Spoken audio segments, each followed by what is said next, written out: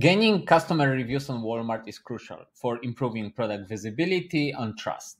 First, review Walmart policies to make sure you do not break rules when getting reviews. There are three primary ways to get reviews. First is just to wait for buyers to give you reviews. Second, leverage Review Accelerator program, in which you pay Walmart to provide incentives to buyers to write reviews for your products. The third idea is to use Walmart Review syndication, allowing you to import reviews of your products from your official website.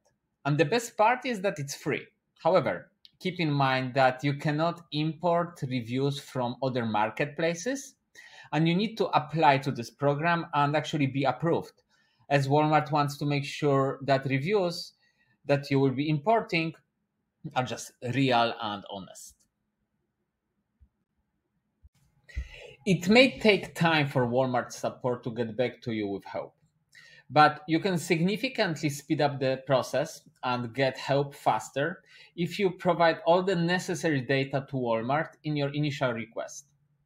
For example, if you create a case in which you want to adjust product details, you need to provide SKU of your product, but this should be just one of many information you provide.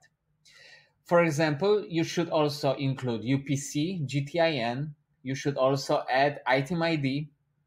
Now, just before you create a case, you should resubmit your product to Walmart and that will generate a feed ID. And this feed ID you should also include in the case. Always provide Walmart partner ID in your communication. This is the number that you can see in the top left corner of your account. Now, when you're creating those messages, make sure that you write very simple, short messages without too much complicating the case. And also make sure that you are providing all the supporting documents. It really depends on what kind of case you are creating, but for example, screenshots, invoices, um, any supporting documents that you think that Walmart may use to approve your case or to uh, just provide you good support. If your account is terminated, this is usually not possible to get it back and we suggest to reconsider applying again in about a year. If your account is suspended, then you will receive from Walmart a form to fill out to submit your appeal. First, take your time to fill it out.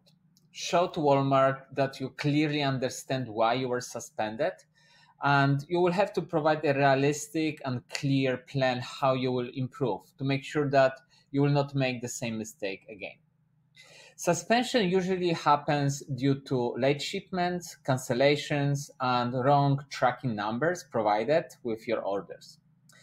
That means changing shipping carriers, switching self fulfillment to 3PL, maybe utilizing WFS and working with solution providers to automate processes might be some good ideas to provide as improvements.